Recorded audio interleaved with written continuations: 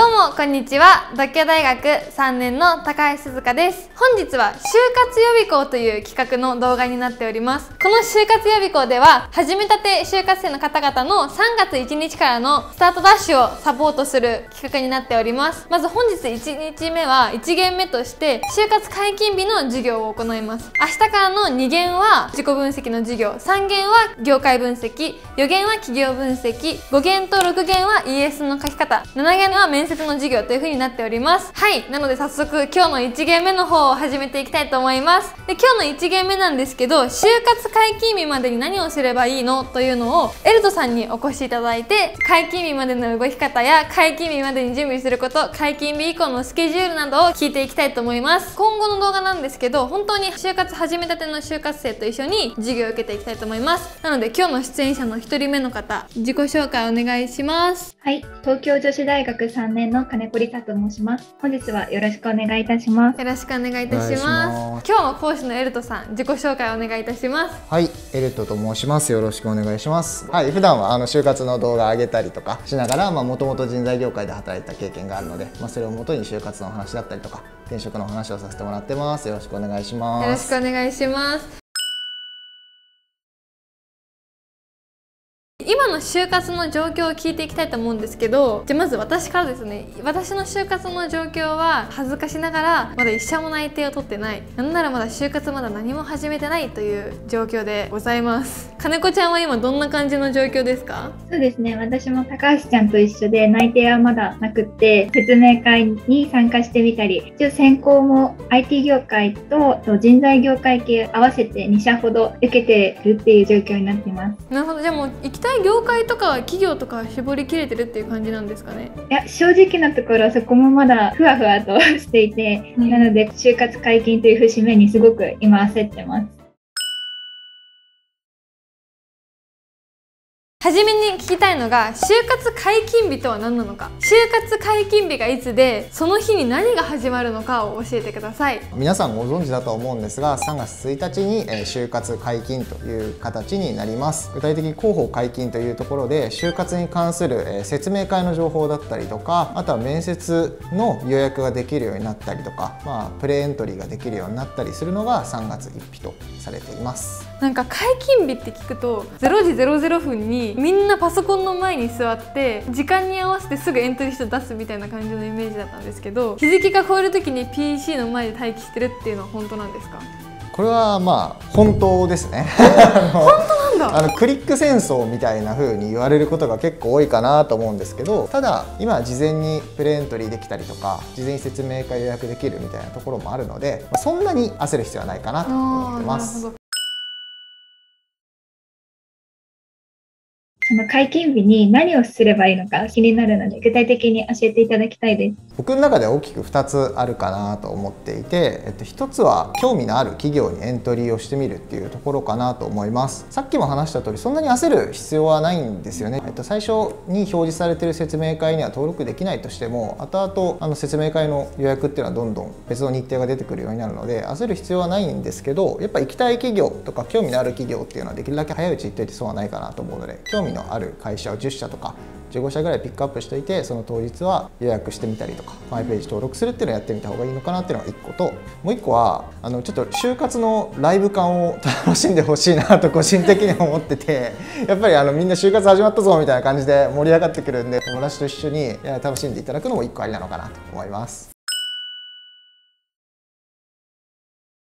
解禁以降のスケジュールを教えていただきたいです。えまず3月から行くとここから説明会だったりとかエントリーシートを出すっていう作業ができるようになってくるので3月が説明会いろんなとこに足を運んだりウェブ説明会を受けたりしながら、まあ、その合間の時間でエントリーシートを書いていくみたいなのが主な時間になるかなと思います。で4月になってくると追加での説明会エントリーシートもありつつもやっぱり初めての面接それこそウェブテストみたいなものを受ける機会がどんどん増えてくるかなと思うのでどんどんね予定が詰まってくると いうような感じになってくるかなと思います。あとはまあこれは行事じゃないんですけど人によっては毎年大体こう4月の下旬ぐらいからゴールデンウィークの間ぐらいで1回内定のピークがドンとくるような めちゃめちゃ早いんですけど。4月の下旬なんですね。そうなんですよね。大体2回内定のピークってくるんですけど1回目はそれぐらいに来るんですよね。なんだ。そうすると結構ここであの不安になったりとか、あのちょっとメンタル不調になっちゃう人とかも多いと思うのであの今のうちにあのそういうことあるよぐらいに思っておいてもらえるといいかなっていう感じです。であとはまあ5月も変わらず、まあ、ここは二次面接とか最終面接とか増えてきてちょっとしんどくなってくるかなっていうのはありつつ、まあ、6月ついにこう最終面接だったりとか、えっと大手企業さんは面接が始まりますみたいなところで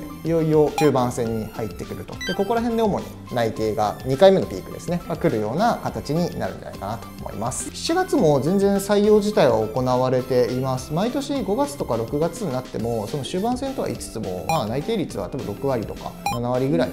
だと言われているので、まあ、そんなに焦る必要はなく普通に選考自体行われていたりとかあとはその4月半ばとか6月の内定を辞退する就活生もいるので二次募集しますよみたいなことが盛んに行われる時期なので全然焦らずいけるかなと。ます8月はでも7月と同じような形で進むことが多かったりしますねあとは人によってはっていう感じなんですけど自分のやりたいことってこういうことなのかなとか自分のキャリアってこういうことなのかなって改めてこう就活セカンドステージみたいな感じで就活を行っていく人も増えていく時期なのかなと思うので逆に企業さんもそういった人がいることを知ってるので改めて一次面接がまた始まったりとかそんなことが起こってくる時期かなとも思いますね。何月までに内定を取らないとやばいっていうか諦めなきゃいけないのかみたいなところってあったりするんですかね？僕個人の感覚としては納得できれば3月31日まで続けてもう問題ないだろうし、まあ、そのいつ内定を取ろうが取らないがやばいやばくないっていうのはないとは思うので、まあ、焦る必要はないんですけど、まあ、でもとは言っても焦るかなと思うので、まあ、一定の基準をお伝えすると内定式が行われるのが毎月大体10月なのでそれより前にやっぱ内定をもらって就活を終えられてると10月1日同期と一緒に内定式を受けるみたいな、まあ、一生に一度のイベントだと思うのでそれは受けられた方がいいかなと思いますね。じゃあ次に聞きたいのが解禁日までにやることです。あと5日あると思うんですけどまず今から就活始めて間に合いますか？間に合います。僕は3月1日から始めたので。そうなんですね。就活生の時は。なので大丈夫だと思いますよ。じゃあまたお聞きしたいのが3月のエントリー開始に向けて今から5日間で準備できることを教えてください。まず1個目は未完了を完了させましょうということをよく言うんですけどやんなきゃいけないけどやってないことって結構あったりするんですよね。なんか学知化完成させようかなとか思いながら放置してるみたいなのとか。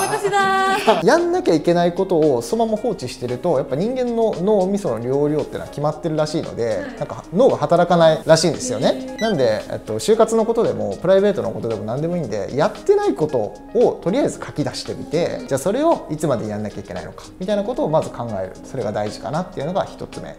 です。じゃあ就活において絶対に3月1日までに完了させておいた方がいいよっていうことでありますか？基本的な自己 PR だったりとか学知化とかあとは就活の軸は、えっと、仮でもいいのでこういった企業を受けてみたいとかこういったことやってみたいみたいなのが23個あるといいんじゃないかなと思います。自己 PR 学知化就活の軸についてはこの後の授業で書き方とか話し方っていうのをやっていくのでぜひそちらを参考にしてください本当にまだ何も就活をやってない人が初めにやるべきことって何ですか？これは一択だと思っていてあのエントリーシートを書くです。いろいろやり方はあるんですよね。で特に言われやすいのが自己分析しましょうっていう人結構多いと思うんですよね。ただ自己分析ってこう正解がないしなんかこう終わりがないじゃないですか。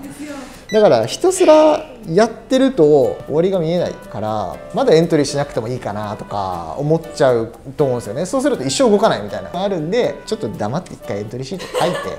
で自己分析しないでやるとこれ書けねえなみたいなのが出てくると思うんですよね。でそれを書けるようにするためにじゃあ僕の過去の経験私の過去の経験なんだっけってやってそこだけ自己分析するみたいな方が多分早い。のでそういったやり方でやるといいんじゃないかなと。思います。もう一個聞きたいのがエントリーシートを書くってどういうテーマで書いていけばいいんですかね？あ基本的な質問をまず押さえる。その自己 PR 学知化就活の軸とか長所短所とかそういったところを抑えるっていうのがまず一つとあとはやっぱり企業さんによって特殊なこう質問っていうのがやっぱり用意されてるんですよね。なので、まあ、そういった質問に対応できるように憧れてる会社例えばサイバーエージェントさんってかっこいいよなと思ったら サイバーエージェントさんのあの過去のイエスでも、今回でイエスでもいいんで調べてみてあこういう質問あるんだと思ってこういう質問じゃあどういうふうに答えようかなみたいな考えることであの他の企業さんでも特殊な質問が出てきた時に対応できるようになるみたいな感じになるのでとりあえずイエス書いてみるっていうのがいいんじゃないかなと思います。イエスを書く際のポイントみたいなところがあれば教えていただきたいで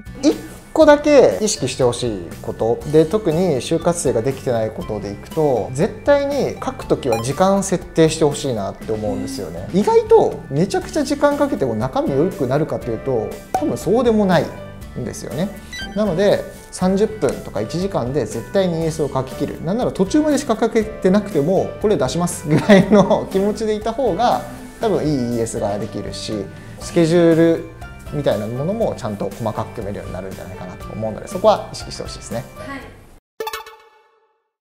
3月1日の会期日までの授業は以上になるんですけどあと5日間で具体的にどういう感じの目標を立てて行動しますか？いいスタートを切れるように頭で考えるんだけじゃなくってちゃんと ES を書いたりだとか面接の練習、まあ、とかこう実行力っていうところをすごく意識していけたらなってこれから思います。ぜひあの私も今日学知化のちょっと早速書いてみるので一緒に書きましょう。学知化書いて送ります。私も送ります。おお一歩進みました。ありがたいめでたいね。今日の1限目の授業は結構心配になっちゃうことも結構お話ししたと思うんですよね。意外と内定出るの1回目ピーク早いよみたいな話とか時間短いよみたいな話はしたんですけどあんまりその無駄な不安とかは持たずに適切な焦りとか適切な不安を持って臨んでほしいなと思います。まあ、周りが内定取ったとか、ね、周りがなんかこう変にねマウント取ってくるとかがあったとしても動じずに自分が今何やんなきゃいけないのかっていうのを信じてやってほしいなと思います。頑張ってください。